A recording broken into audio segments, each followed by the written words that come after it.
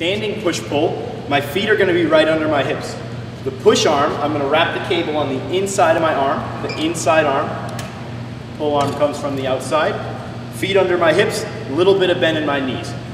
I'm gonna push and pull, making sure that my chest stays square in front of me. You do not wanna let the cables rotate you. Push and pull, maintaining your chest position facing forward.